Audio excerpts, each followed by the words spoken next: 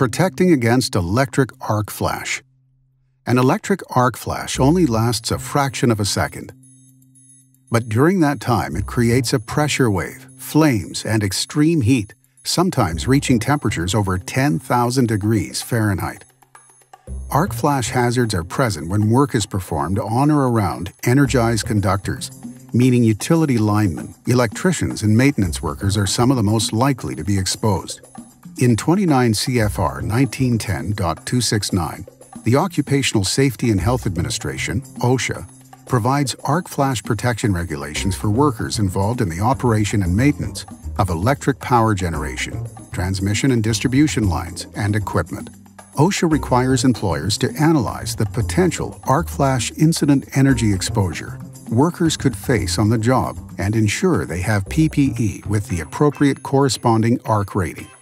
The NFPA 70E standard for electrical safety in the workplace provides guidelines for protecting industrial electricians and maintenance workers against arc flash. This standard requires performing a hazard analysis, but as an alternative to matching PPE to the incident energy exposure, it provides tables of common tasks to help determine the proper protection level.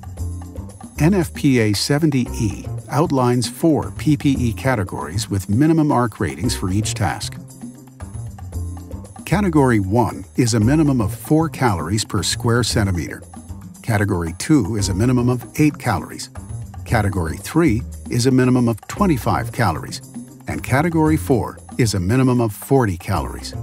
Both OSHA 1910.269 and NFPA 70E refer to ASTM F1506 for protective clothing performance requirements.